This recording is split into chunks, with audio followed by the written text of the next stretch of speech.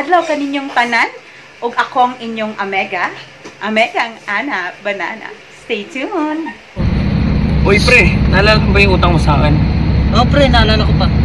Akala ko pa nalimutan mo na eh. Sensya ka na, pre, ha.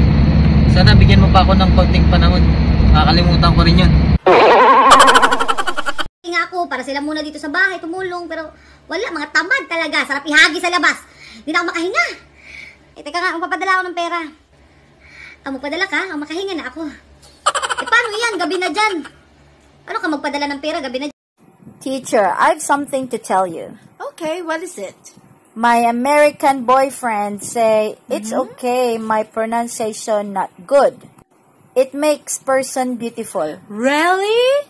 Oh, your boyfriend is so sweet. Huh? Six piraso po ng egg waffles po. Kuya, egg waffles. Kuya, the orange ones.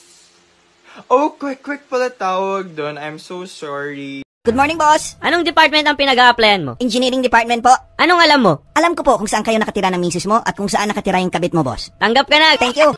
Pabili po ako ng chocolate. Anong klaseng chocolate? Yung chocolate na hindi lang sa una sweet. Yung chocolate na kahit gaano nagkadagal, hindi nawawala ang sweetness niya. Yung ganun chocolate, kuya. ma ma ano na naman king nakakuha ko ng 95 Wow! Saan? Sa math? hindi sa wallet mo okay kayo Ah, sundalo police. police Engineer a police.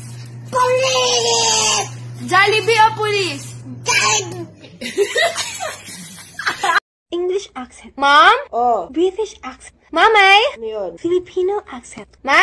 Did you just hit your sister? Yeah, but she started it. Say sorry. I'm sorry. Say it like you mean it. I'm sorry. No, say it like you mean it. But I just did. Say it like you mean it. I'm so sorry. Was that better? Excuse me, miss. Are you currently dating someone? Yes, but they live in another nation. What nation? My imagination.